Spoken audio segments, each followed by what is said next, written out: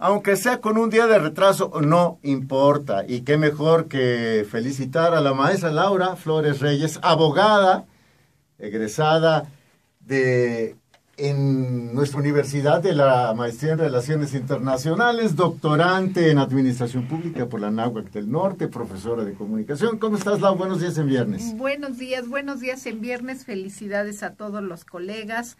El Día del Maestro, finalmente eh, una misión tan humanista en la que estas felicitaciones nos apoyan para eh, seguir adelante. Jorge, también felicidades a ti y pues ya estamos en Buenos Días en Viernes. Qué bueno, y además se incorpora con nosotros sangre nueva, Lau. Efectivamente, sobre todo eh, con una visión desde la administración del deporte estupenda, que es Jorge Messner. Hola, buenos días, Lau.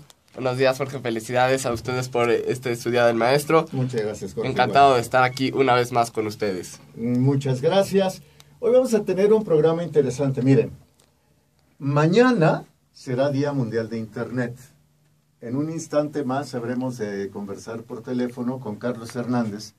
Él es director de análisis de tecnologías de la información de ay, me trabé, Competitive Intelligence Unit, o sea, la unidad de inteligencia de la competitividad y también hablaremos con el presidente de la Comisión de Reforma del Estado, del Senado de la República, el senador del PRI, Miguel Ángel Chico Herrera, porque se aprobó ya, tenemos nueva ley, bueno, tenemos tres nuevas leyes electorales, ya se aprobó completamente, ahora sí, la reforma electoral, ¿en qué consiste, no?